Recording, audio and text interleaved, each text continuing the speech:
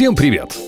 Мы абсолютно уверены, что каждый из вас любит смотреть мультфильмы. Если скажете, что нет, мы вам не очень-то и поверим. Ведь что может быть лучше, чем на несколько минут снова удариться в детство? Наверняка, наблюдая за любимыми персонажами, вы не замечаете каких-то мелких деталей на втором плане, нюансов второстепенных героев и не обращаете внимания, что какой-нибудь мультяшный персонаж появился не на своем месте. Поэтому специально для вас мы решили посмотреть несколько популярных мультфильмов и немного поковыряться в некоторых мелких и незаметных деталях, которые вы, скорее всего, раньше не замечали. Итак, это 7 странных явлений, которые были замечены в мультфильмах. Поехали!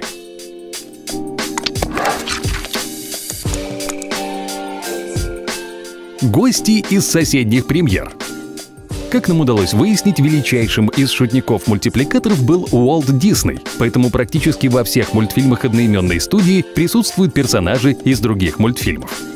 Ну-ка скажите нам, замечали ли вы когда-нибудь, например, в Аладдине чудовище из мультфильма «Красавица и чудовище», а в «Корпорации монстров» — рыбку Немо? Мы уверены, что лишь немногие из вас обладают таким зорким глазом. Вот вам, кстати, еще несколько примеров таких мультяшных пряток. Посмотрите, в сценах мультфильма «Горбун из Нотр-Дама» можно увидеть волшебный ковер Аладдина, красавицу из «Красавицы и чудовища» и Пумбу из «Короля льва». А вот сцена из мультфильма «Геркулес». Шкура убитого немейского льва удивительно похожа на шрама из мультфильма «Король лев». Как считаете? В мультфильм «Лила и Стич» пришел в гости слоненок Дамбо, который расположился на Мольберте. «Холодном сердце» также не обошлось без появления гостей из самых разных мультфильмов. Например, на балу в замке были замечены Рапунцель и Флинн из мультфильма «Рапунцель. Запутанная история», а заодно Тиана и Новин из «Принцессы и лягушки», а также известные всем Золушка. В другой сцене, где принцесса Анна покупает зимние сапоги, сбоку на столе у торговца стоит фигурка зеленого монстра Майка Вазовски из корпорации монстров. Микки Маус везде. Почти 89 лет назад Уолт Дисней не мог и представить того, что наивный и рассеянный мышонок станет не просто знаменитым и любимым всеми зрителями, но и будет олицетворять собой всю мультипликацию, станет символом детства и будет украшать своими ушками самый крупный в мире парк развлечений. И несмотря на то, что образ этого мышонка существует уже достаточно давно, Микки нам все еще не надоедает. Так, а теперь о главном и самом интересном. Во многих мультфильмах компании Disney имеет место быть такая интересная штука, которая зовется феноменом скрытого Микки. Проявляется он в том, что во многих мультфильмах в кадре неожиданно появляется тень головы мышонка, или же какой-то предмет изображается в ее форме. Вот, полюбуйтесь. Перед вами кадр из Золушки, где мыльные пузыри напоминают голову Микки. А вот падение Пумбы с водопада. Посмотрите, да это же Микки Камни. Ну а сейчас перед вами подводное царство и его повелитель Тритон с дельфинами на поводьях. Всюду подводные жители встречают своего царя. А нет, погодите-ка, кто это там стоит? Как вы уже наверняка догадались, Микки умудрился засветиться и там. Если с мультфильмами все понятно, то что вы скажете на то, что мышонок не обделил вниманием и популярное кино про пиратов Карибского моря? Причем этот герой появляется в каждом фильме везде, где только можно, нужно лишь присмотреться повнимательнее. Тайное сообщество А113. Посмотрите на эти кадры. Смогли ли вы увидеть какую-нибудь деталь, которая присутствует в каждом из этих мультфильмов? Нам кажется, только самые внимательные заметили здесь загадочное число и букву. Да что уж там, и сами мы, если честно, не сразу их присмотрели. Таинственный знак А113 появляется во многих известных мультфильмах, кадры из которых мы вам только что показали. Внимательные зрители, кому удалось заметить этот знак, стали строить мистические теории и предполагать наличие некого 25-го кадра, спрятанного в мультфильмах. Однако аниматоры все же раскрыли секрет. А113 – это просто номер одной из комнат в Калифорнийском институте искусств. Там проходило обучение многих голливудских специалистов в области анимации и графического дизайна. Так что теперь вы с уверенностью сможете определить, делал ли товарищ аниматоров Дисней графику к другим известным мультфильмам и кино. Скрытые подсказки. Внимание, сейчас придется снова сосредоточиться, поэтому отложите ненадолго свои вкусняшки в сторону и будьте готовы поставить видео на паузу, чтобы точно не пропустить нужный момент. Как вы уже, наверное, успели убедиться, мультфильмы студии Disney любят оставлять ссылки друг на друга, но все ли из них вы видели? Каждый мультфильм как бы оставляет подсказку на другой, чтобы его тоже посмотрели. Попробуем немного в этом разобраться и начнем с одного из последних мультфильмов «В поисках Дори». Среди детей, столпившихся возле аквариума, можно разглядеть подозрительно знакомое лицо. Это Райли, главная героиня головоломки. Теперь давайте посмотрим, что создатели спрятали в самом мультфильме про эмоции. Вот в воспоминаниях героини статуя динозавра, который выглядит точь-в-точь как ящер-чащер из хорошего динозавра. Другого персонажа этого мультфильма, динозаврика по имени Арло, можно заметить среди игрушек в корпорации монстров. А главного героя этой пугающей милой ленты аниматоры нарисовали на одной из дощечек в хижине старой ведьмы в храброй сердцем. Вы только посмотрите, какой он очаровательный. В свою очередь, изображение гобелена королевской семьи оказалось в тачках, а копия молнии Маквина лежит на полу в истории игрушек 3. И это далеко не все совпадения. Поэтому если вам давно хотелось пересмотреть любимые мультфильмы, то самое время сделать это.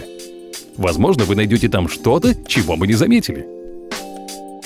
«Принц Южных островов» А вот в мультфильме «Город героев», который вышел на экраны в 2014 году, неожиданно отметились сразу два персонажа, вообще никак не связанные с его героями. Смотрите сами. Вот Хира и Беймакс совершает свой первый полет над городом, и что это там на фоне?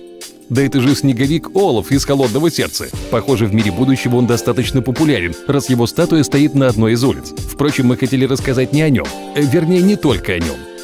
Ладно, ладно, нам тоже очень симпатичен обаятельный снежный весельчак. Но, как мы уже сказали, в этот мультфильм пробрался еще один герой приключений Эльзы и ее сестры. Вернее, даже злодей. Присмотритесь, чья эта фотография висит на доске в полицейском участке? Похоже, этого человека объявили в розыск. Но мы, например, совершенно не удивлены, ведь это принц Ханс с Южных островов. Вот уж кто точно заслуживает стать мишенью для правосудия. Правда, в городе героев его образ довольно, скажем так, неоднозначный. Посудите сами. Вот он в числе разыскиваемых преступников, а вот его скульптура уже стоит в одном из парков. Ну, некоторое время стоит.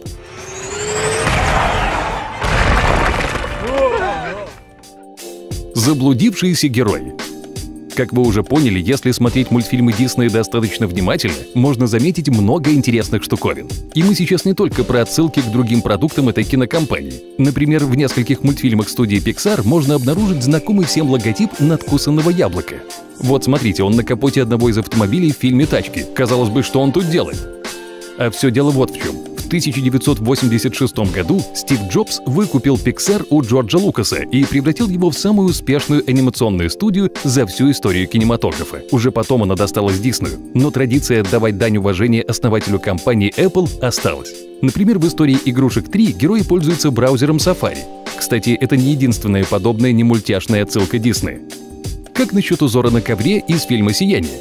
Согласны, наверное, не самый милый элемент для детского мультфильма, но чтобы рассмотреть его, нужно действительно хорошо приглядеться, а заодно быть знакомым с творчеством Стэнли Кубрика. Засветился в истории про живых игрушек и Стивен Спилберг вместе со своим парком юрского периода. Знакомый кадр с бегущим Терексом в боковом зеркале автомобиля? Ну, конечно же, кто же его не узнает? Говорят, что сам Спилберг очень гордится тем, что его работы находят отражение в мультфильмах Диснея, и мы его отлично понимаем. Босс-молокосос.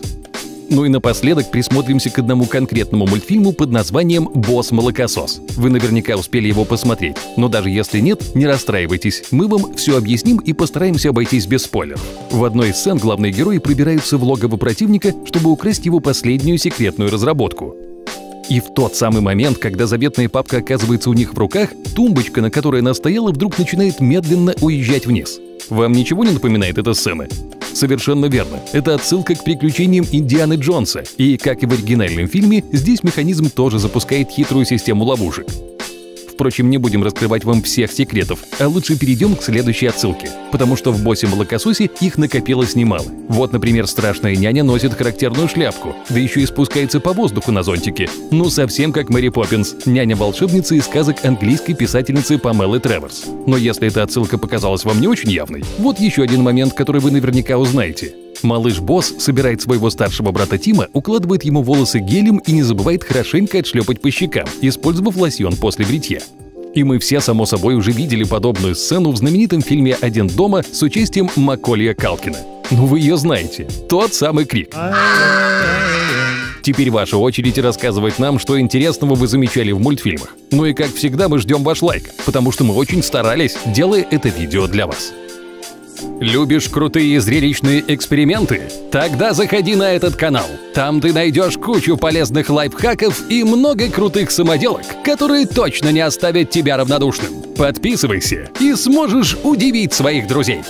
А на этом сегодня все. Моя мастерская – твое настроение.